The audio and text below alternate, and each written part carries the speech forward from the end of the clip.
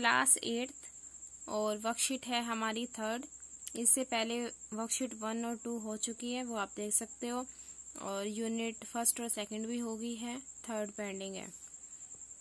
इसके अंदर ए में ब, आ, क्या पूछा गया है कि सर्कल द सब्जेक्ट जो भी हमको सर्कल दिखाई दे मीन्स उद्देश्य दिखाई दे उसके ऊपर सर्कल करना है एंड अंडरलाइन द प्रेडिकेट और जो हमारा विधेय होता है उसके नीचे अंडरलाइन करना है इन दी सेंटेंसेस मतलब जिसके बारे में बात हो रही है वो सब्जेक्ट और क्या बात हो रही है, वो हो जाएगा हमारा प्रेडिकेट या फिर उसको बोलो एट्रीब्यूट एक ही बात है।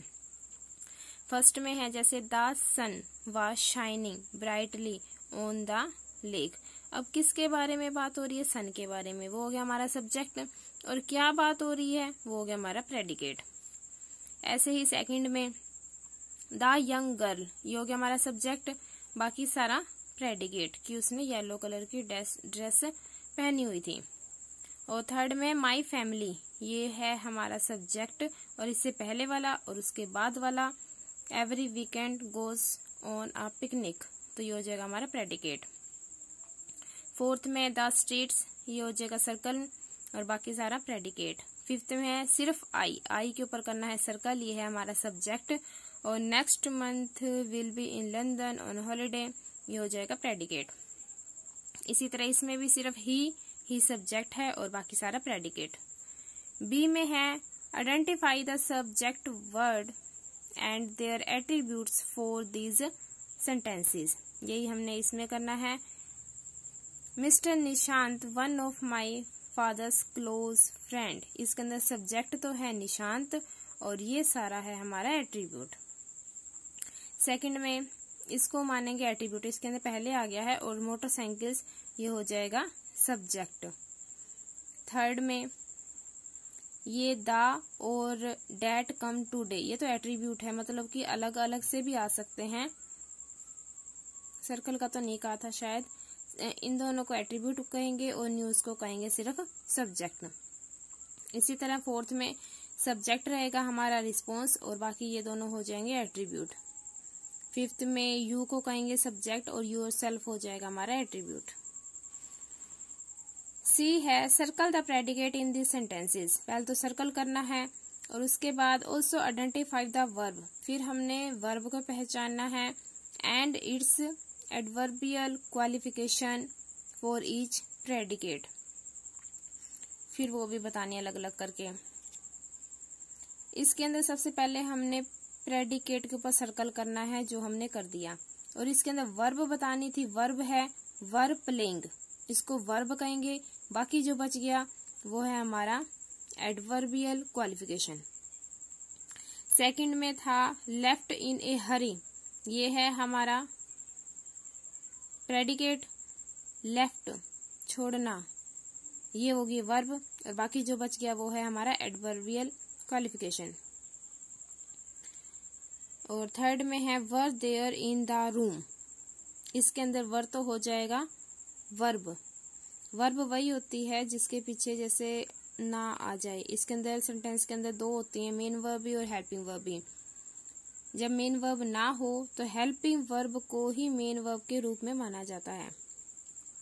लास्ट में हो जाए कम जस्ट नाउ सर्कल कर दिया कम ये हो जाएगा हमारा वर्ब और बाकी जो बच गया वो है हमारा attribute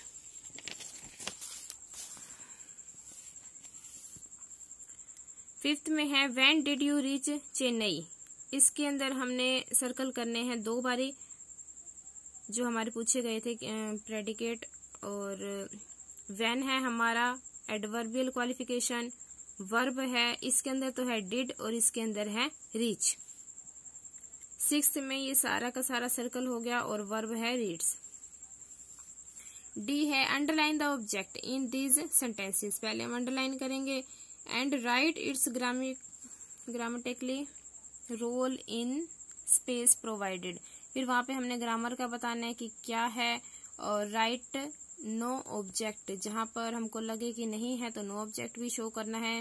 If a sentence does not have one first में है जैसे टू स्विम यहाँ पर हमने कर दिया अंडरलाइन और ये क्या है इन्फिनेटिव फिर है द बर्थडे पार्टी। इसको हम क्या मानेंगे? नाउन फ्रेज है ये।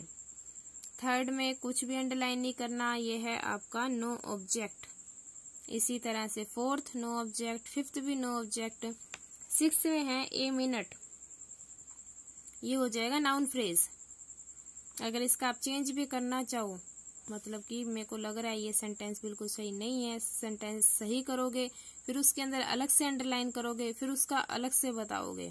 ठीक है? जैसे इसका तो हमने ए मिनट का बता दिया नाउन फ्रेज है। फिर ठीक करने के बाद और कुछ निकलेगा, उसका बताना पड़ेगा। इसी तरह से सेवन्थ में हो जाएगा जी रेंड एट्थ में है इन्फिनेटिव नाइन्थ में है नाउन फ्रेज और टेंथ में है प्रोनाउन आई होप आपको विजिबल है ये।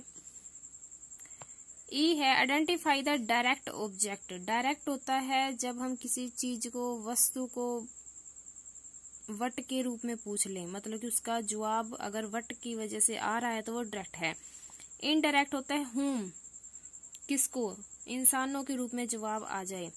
In the sentences and write them in the space provided इसके अंदर है, Aman bought his friend a hat अब हैट के बारे में बात हुई है। क्या लिया? तो वो हो गया डायरेक्ट किसके लिए लिया? किसी इंसान के लिए लिया है?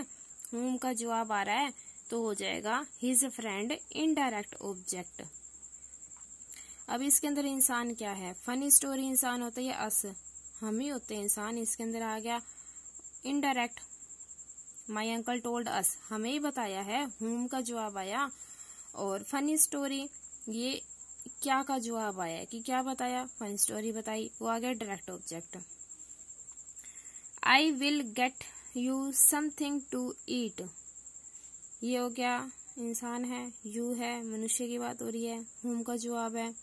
तो इनडायरेक्ट ये हो गया direct Rajiv gave me a chocolate क्या दी? चॉकलेट दी। डायरेक्ट हो गया। किसको दी? मुझे दी। इनडायरेक्ट हो गया। The company has send me a job offer क्या दिया? जॉब ऑफ़र दिया डायरेक्ट हो गया। किसको दिया? मुझे दिया इनडायरेक्ट हो गया।